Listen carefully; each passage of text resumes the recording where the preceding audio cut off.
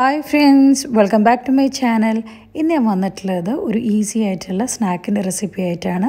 ഒരു പൊട്ടാറ്റോ പക്കവട നമ്മുടെ ഉരുളക്കിഴങ്ങ് വെച്ചിട്ടുള്ള ഒരു പക്കവട. അപ്പോൾ നമുക്ക് ഈ ഒരു ഈസി സ്നാക്ക് എങ്ങനെ തയ്യാറാക്കി എടുക്കാൻ നോക്കാം.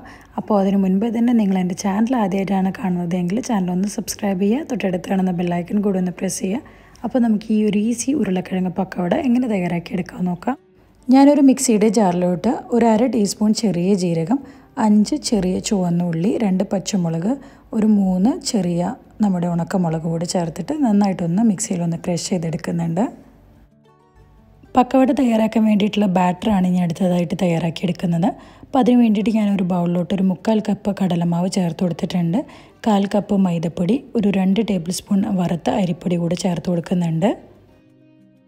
ഇനി ഞാൻ ഇതിലോട്ട് ഒരു മുക്കാൽ ടീസ്പൂണ് മുളക് പൊടിയും കാൽ ടീസ്പൂൺ മഞ്ഞൾപ്പൊടി ഒരു കാൽ ടീസ്പൂൺ വലിയ ജീരകം പൊടിച്ചെടുത്തത് കുറച്ച് നമ്മുടെ കായത്തിന്റെ പൊടി കൂടി ചേർത്ത് കൊടുക്കുന്നുണ്ട്.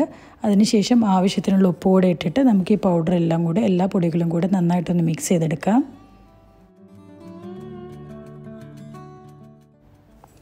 ഇനി ഇതിലോട്ട് നമ്മൾ നേരത്തെ ക്രഷ് ചെയ്ത് മാറ്റി വെച്ചിരുന്ന ആ ഒരു മിക്സ് നമ്മുടെ പച്ചമുളക് ചെറിയ ഉള്ളി ജീരകത്തിന്റെ ആ ഒരു മിക്സ് കൂടെ ചേർത്ത് കൊടുത്തിട്ട് നമുക്കിതിൽ ആവശ്യത്തിന് വെള്ളം ഒഴിച്ചിട്ട് ഒരു ബാറ്റർ ആക്കിയിട്ട് തയ്യാറാക്കിയെടുക്കാം നമ്മളിവിടെ ചെറിയൊരു തിക്നെസ് ഉള്ള ഒരു ബാറ്ററാണ് തയ്യാറാക്കിയെടുക്കുന്നത് അധികം വെള്ളം പോലെയല്ല എന്നാലൊട്ട് നല്ല തിക്കും അല്ലാത്തൊരു കൺസിസ്റ്റൻസിയുള്ള ബാറ്ററാണ് നമ്മളിവിടെ തയ്യാറാക്കിയെടുക്കുന്നത് അപ്പോൾ വെള്ളം ഒഴിച്ചു കൊടുക്കുമ്പോൾ ശ്രദ്ധിക്കുക.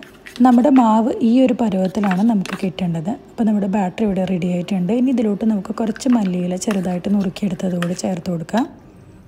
ഇത് ഞാൻ മീഡിയം സൈസ് വലുപ്പത്തിലുള്ള രണ്ട് പൊട്ടറ്റോ ഇതുപോലെ സ്കിന്നെല്ലാം അതിന്റെ റിമൂവ് ചെയ്തിട്ട് ഇതുപോലെ തിന്നായിട്ടുള്ള സ്ലൈസാക്കി കട്ട് ചെയ്തെടുത്തതാണ്. നല്ല തിന്നുമല്ല എന്നാൽ നല്ല തിക്കും അല്ലാത്തൊരു പരുവത്തിലുള്ള സ്ലൈസ് ആക്കിയിട്ടാണ് ഞാനിവിടെ കട്ട് ചെയ്തെടുത്തിരിക്കുന്നത്.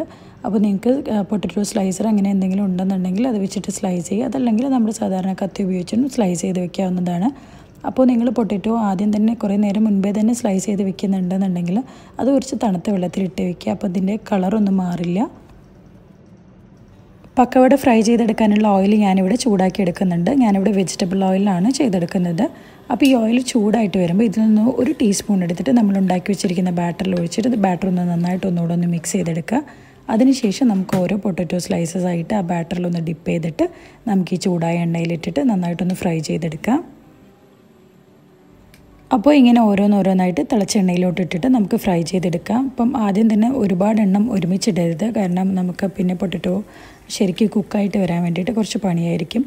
അതുപോലെ തന്നെ ഒരു ഏകദേശം അഞ്ച് മിനിറ്റ് ഒരു മീഡിയം ടു ലോ ഫ്ലെയിമിൽ വെച്ചിട്ട് നമുക്കിതൊന്ന് വറുത്ത് കോരിയെടുക്കാം. ബാക്കിയുള്ള ഉരുളക്കിഴങ്ങിന്റെ സ്ലൈസ് ഞാൻ ഇതുപോലെ ഫ്രൈ ചെയ്ത് എടുത്തിട്ടുണ്ട്. അപ്പോൾ ഈ ഒരു ഈസി റെസിപ്പി നിങ്ങൾക്ക് എല്ലാവർക്കും ഇഷ്ടമായെന്ന് വിചാരിക്കുന്നു. അപ്പോൾ നിങ്ങൾ ഈ ഒരു ടൈപ്പിൽ ഉരുളക്കിഴങ്ങ് പക്കവട ആദ്യമായിട്ടാണ് കാണുന്നത് എങ്കിൽ തീർച്ചയായിട്ടും ഒന്ന് ട്രൈ ചെയ്ത് നോക്കുക. നല്ല ടേസ്റ്റ് ഉള്ള ഒരു റെസിപ്പിയാണ് അതുപോലെ തന്നെ ഇത് ചൂടോടെ കഴിക്കാൻ വേണ്ടി ശ്രദ്ധിക്കുക. ചൂടോടെ നമ്മുടെ പുതിന ചട്നിയുടെ കൂടെയൊക്കെ നല്ലൊരു കോമ്പിനേഷനാണ് അപ്പോൾ എല്ലാവർക്കും ഈ ഒരു വീഡിയോ ഇഷ്ടമായെന്ന് വിചാരിക്കുന്നു. വീഡിയോ ഇഷ്ടമായിട്ടുണ്ടെങ്കിൽ ലൈക്ക് ചെയ്യാൻ വേണ്ടി മറക്കരുത്. അതുപോലെ തന്നെ നിങ്ങളുടെ ഫ്രണ്ട്സിനും ഫാമിലിക്കൊക്കെ ഷെയർ ചെയ്യുക. നിങ്ങൾ ട്രൈ ചെയ്ത ഫോട്ടോസ് ഉണ്ടെന്നുണ്ടെങ്കിൽ നമ്മുടെ ചാനലിന്റെ പേജിന്റെ ഫേസ്ബുക്കിൽ അതിൽ സെൻഡ് ചെയ്ത് തരിക അപ്പോൾ ഇൻഷാല്ല ഇതുപോലെയുള്ള ഒരു ഈസി റെസിപ്പി ആയിട്ട് വീണ്ടും വരുന്നതുവരേക്കും ബൈ